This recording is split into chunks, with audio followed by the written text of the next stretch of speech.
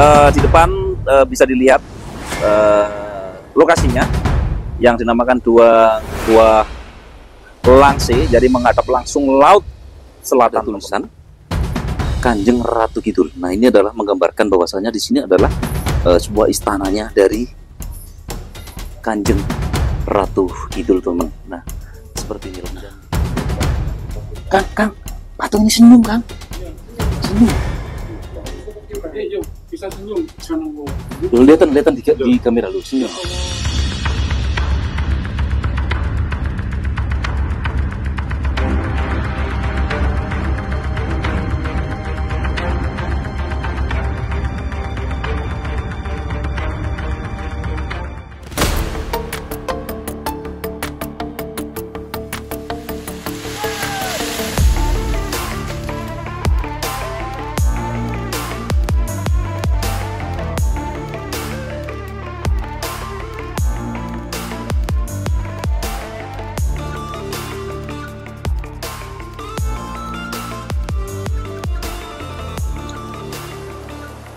Ya, Assalamualaikum warahmatullahi wabarakatuh. Salam Rahayu, salam budaya. Ketemu lagi di Jalan Cakra Panorama. Jadi hari ini kita berada di Gunung Kidul ya. Eh, tepatnya kita saat ini berada di Gua Langse. Nah, Gua Langse ini sendiri itu terletak di tebing pas. Dan di depannya ini juga kita lihat adalah lautan lepas, teman-teman. Dan lihat seperti ini dan lokasinya ini sangat mantap karena memang Indonesia ini adalah sumber dayanya sangat sumber daya alamnya, sumber daya eh, manusianya. Josh dan ini salah satunya sumber daya alamnya yang sangat luar biasa ini teman. Nah nanti kita akan ke Gua Langse teman. Nah kita turun ke sini itu tidak mudah, tidak gampang karena kita tadi turun itu eh, apa ya? Bayangkan tadi kita turun itu eh, menuju menurun tebing, menuruni tebing yang sangat curam sekali. Dan ini, waduh, nggak bisa dibayangkan ya. Lupa mana, saksikan terus untuk eksplor kita kali dan nanti kita akan langsung masuk ke dalam. Yuk, ikuti terus perjalanan saya. Eh, di depan eh, bisa dilihat eh, lokasinya yang dinamakan dua gua Langse, jadi menghadap langsung laut selatan, teman-teman. Dan nanti kita akan langsung turun ke bawah sini ya, karena di sini merupakan sebuah tempat ritual ya. Dan ini tentunya sangat luar biasa, teman-teman. Dan kita nurunnya tangga seperti ini, dan kita pakai senter seperti ini teman ya. Untuk penerangan. Dan ini kedalaman sekitar 60 meter eh, kata bahasa Dianto dan ini merupakan gua pertapaan ya. Gua pertapaan. Teman-teman nah, seperti inilah ya. Eh, untuk bertapa. Jadi di sini juga ada tangga seperti ini. Kita turun sampai ke bawah. Wow dan tentu sangat luar biasa ya. Sobat cakra panorama Nah, kita turun ke bawah. Nah, tangga seperti ini. Nah, ini merupakan di atas itu ada tulisan Kanjeng Ratu Kidul. Nah, ini adalah menggambarkan bahwasanya di sini adalah eh, sebuah istananya dari Kanjeng Ratu Kidul, teman. Nah, seperti inilah. Dan di situ juga di sampingnya juga ada Ratu Gede Mas Muling ya. Me- Muling ya Megaling Mas Muling ya. Seperti ini dan ini adalah salah satu penggambaran eh, sosok Ratu Kidul yang ada di tempat ini teman nah karena memang eh, lokasi ini itu langsung menghadap ke selatan ya ke laut selatan teman Oh, luar biasa teman Sobat Cakra Panorama. Wow, inilah ya. Dan sini juga banyak sesajen-sesajen ya.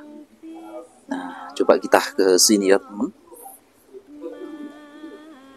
Nah, ini juga ada sesajen rahayu, ada sesajen-sesajen seperti ini. Nah, ini apa ya? Karena memang kalau ke sini itu tergantung niat masing-masing teman ya. Ada niat masing-masing ya pengen nggak tahu ya pengen cepet eh, kaya diberkahi dan lain sebagainya. Kan tergantung niat masing-masing ya kalau ke sini ya teman ya memang ini adalah tempat leluhur ya teman ya. Ini adalah kalau kanjeng ratu itu adalah kepercayaan orang Jawa.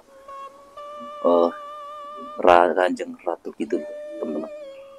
Wow dan ini sangat menakjubkan sekali teman nah seperti ini.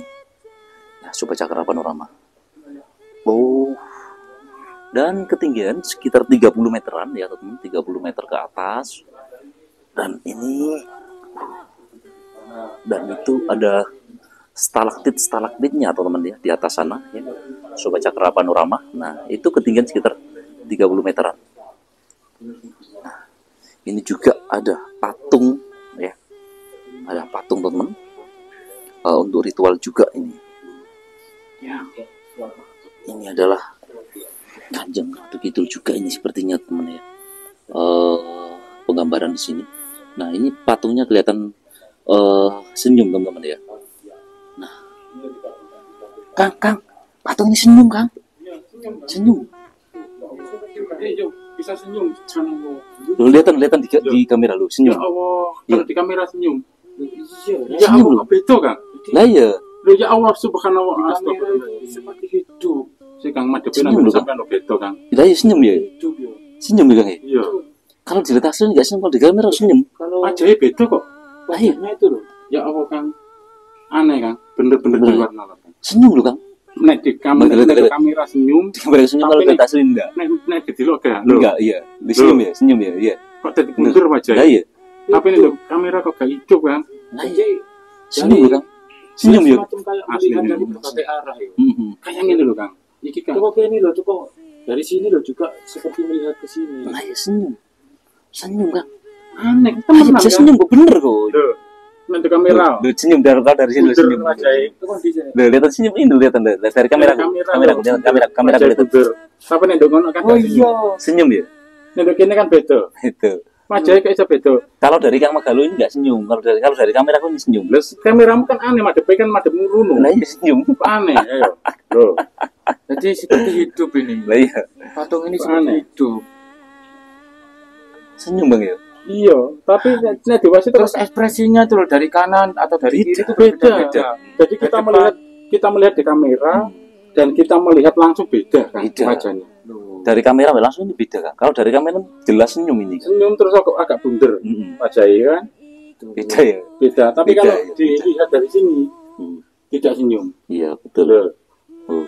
ya Ekspresinya berbeda-beda. ekspresinya berbeda.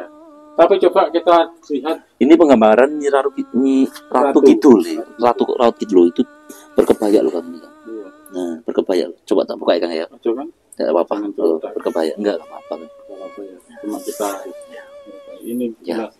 Bang, matur suwun Bang. Seperti ini. Kalau kita lihat kamera Oke teman-teman seperti ini. Wow, luar biasa. Sudah selesai Sudah selesai ritualnya. yang sudah keluar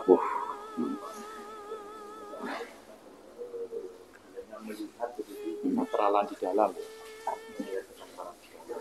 Nanti kita masuk lagi kan. Bentar. suci Enggak, enggak apa-apa Kang. Masuk aja Kang. ya masuk masuk eh, kita ambil keterangan yang lebih Iya, iya, iya. Ada orang itu Kang, enggak, enggak boleh Kang. Ada orang ritual ada Jangan, jangan. masuk Kang kita sudah nggak usah masuk lagi Kang, karena sudah masuk tadi kan. sudah Sudah, nggak usah ritual. Jadi nanti kita takut ganggu orang ritual Kang ya. Jadi kita nggak boleh masuk. Ah, sudahi ah, eh, sudah ya saya. petualangan Kita kali ini ya. Seperti ini ya, teman. Wow. Ya ya. Di atas seperti ini, teman.